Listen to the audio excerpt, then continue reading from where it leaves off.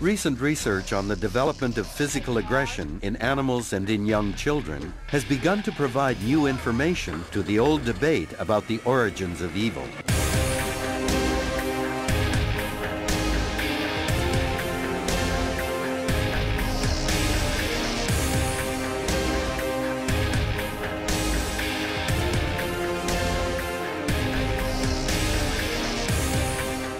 The survival of the fittest really means the survival of genes, because it is only genes that really survive down through many generations. A gene that didn't look after its own interests would not survive. That's the meaning of the phrase selfish gene.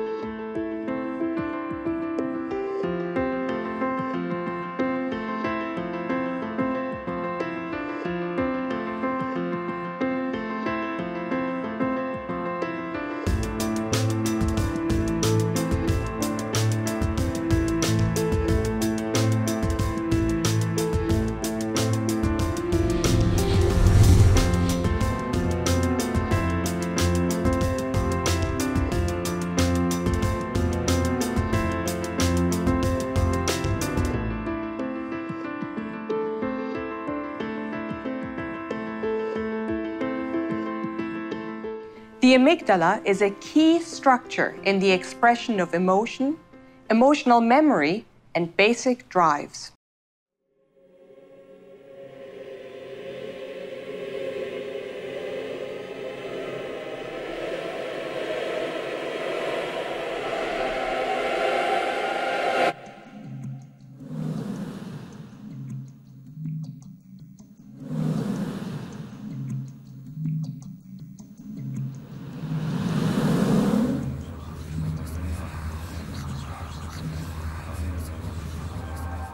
Under what conditions would a person obey authority who commanded actions that went against conscience?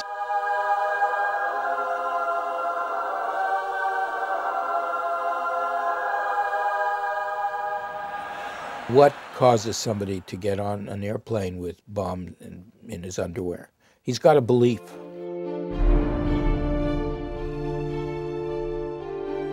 We're finding that individuals with a reduced volume of the amygdala, the emotion region of the brain, those individuals are going to be four times more likely to commit a violent act in the next three years.